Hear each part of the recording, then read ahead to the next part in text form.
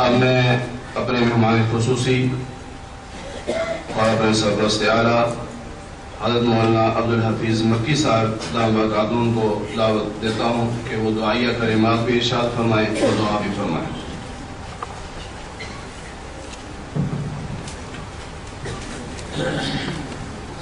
अस्सलाम वालेकुम वरहमतुल्लाहि वबरकातुहू बिस्मिल्लाहिर्रहमानिर्रहीम अल्हम्दुलिल्लाहि रब्बिल आलमीन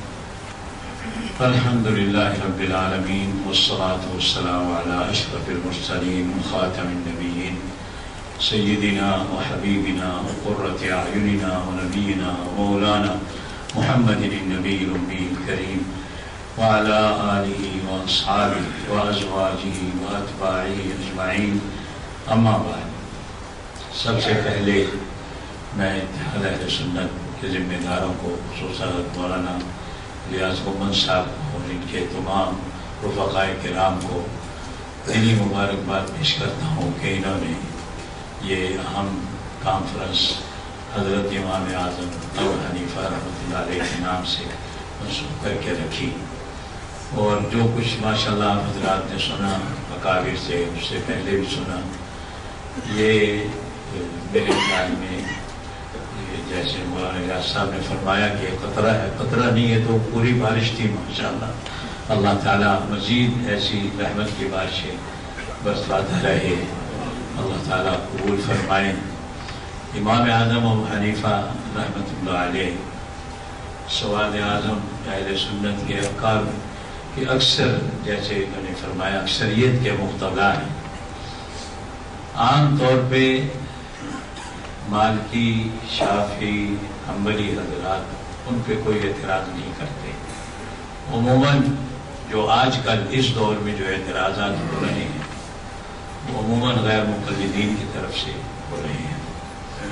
एक एतराज़ उनकी तरफ़ से उनके बाद काबिर ने भी ये किया है और दूसरे हजरात भी नासमझी में, मैं समझता हूँ, जहालत की बिना पर करते हैं।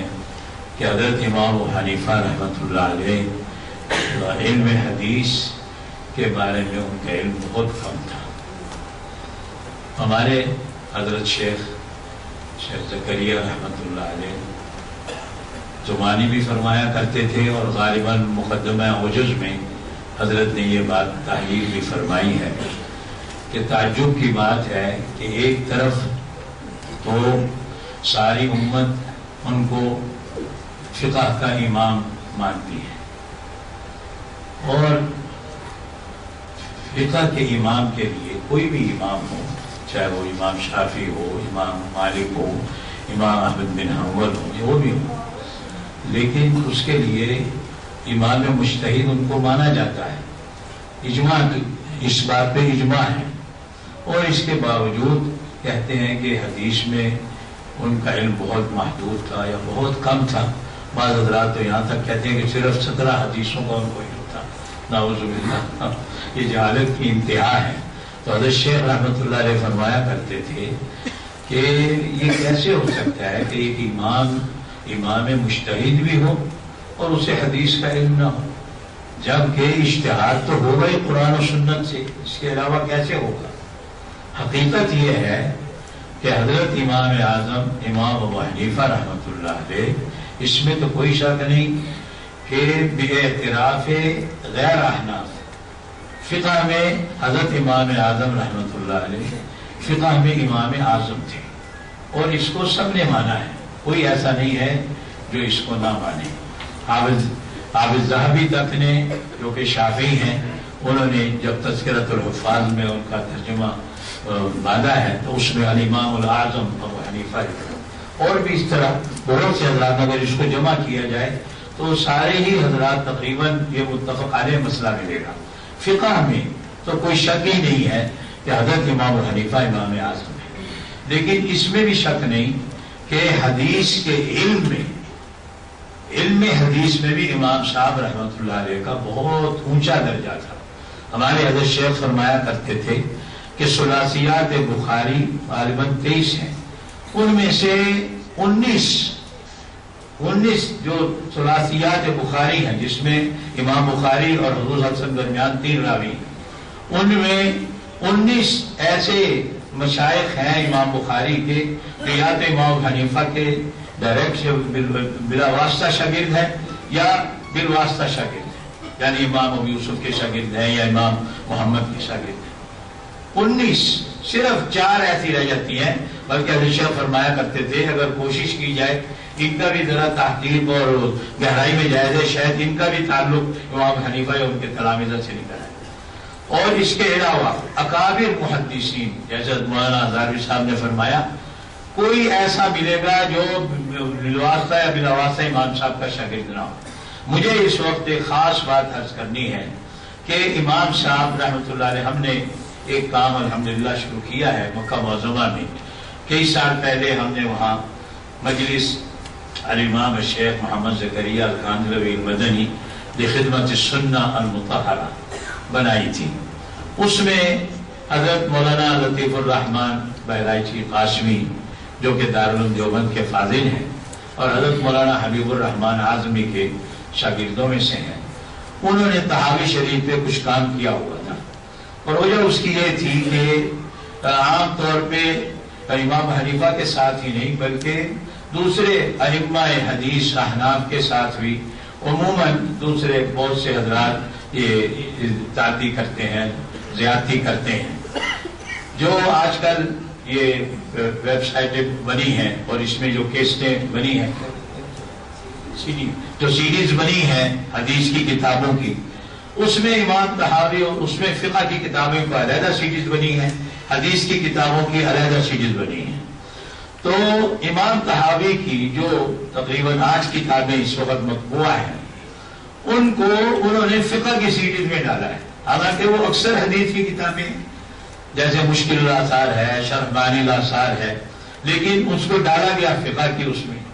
तो इसलिए इनके दिल में यह बात आई कि हमें इमाम इमाम तहावी की सारी अहादीस जो मतबुआ कुतुब में है उनको इकट्ठा करके एक मुस्ंद इमाम तहावी के नाम से तैयार की जाए। अल्हम्दुलिल्लाह, इस मजलिस में हमने सबसे पहले काम यही किया और वो अल्हम्दुलिल्लाह दस जिल्दों में आ गई है, छप गई है। या यहाँ पाकिस्तान में भी आ गई है, हिंदुस्तान भी चली गई है और अल्हम्दुलिल्लाह वो दस जिल्दों में छपी है, जिसमें दस हज़ार से ज़्यादा हदीसें हैं। ये जब काम हुआ तो ये ये मरफू और मुस्ंद हदीसें हैं। फिर जहन में आया कि भाई मौकूफ हदीस और आसार उनको भी इकट्ठा किया जाए, वो भी शायद इतने ही सरमाया बन जाए, लेकिन उनको भी किया जाए। तो उस, उससे पहले हमारे जहन में यह आया कि इमाम तहावी पे भी जुल्म हुआ है, लेकिन उससे ज़्यादा इमाम हनीफा रहमत की की खिदमत हदीसी की ज़रूरत है। इमाम साहब की फिकी लिहाज से तो खिदमत अलहमदिल्ला अहनाफ ने गैर अहनाफ ने खूब की है, लेकिन हदीसी तौर पे इमाम साहब की हदीसियत, इल्म हदीस के बारे में कोई खिदमत ऐसी नहीं हुई, इसलिए उसको किया जाए। तो हमने बुनियादी तौर पे ये हदफ रखा कि एक अलमौसुआ इमाम अबी हनीफा बनाया जाए। जितनी भी इमाम साहब की हदीसें हैं, किसी किताब में भी, चाहे वो मखतूत हो, चाहे मतबुआ उसमें सबको जमा कर दिया जाए और फिर उस पर कुछ काम भी कर दिया जाए हवाजी में। तो मौलाना को हमने ये दरखास्त की कि इससे पहले कि हम तहावी इमाम तहावी रहमत की मौकूफात को जमा नहीं करें, पहले हम इस काम को कर लें तो मौलाना ने इसे कबूल कर लिया और अलहमदिल्ला फिर अल्लाह का शुक्र है काम शुरू हुआ। अब जब काम शुरू हुआ तो वो कई तकरीबन चालीस पचास किताबों से और इमाम साहब की हदीसें इकट्ठी करनी शुरू की। उसमें तीन मखदूतात हमें मिले। मक्का मजमा से।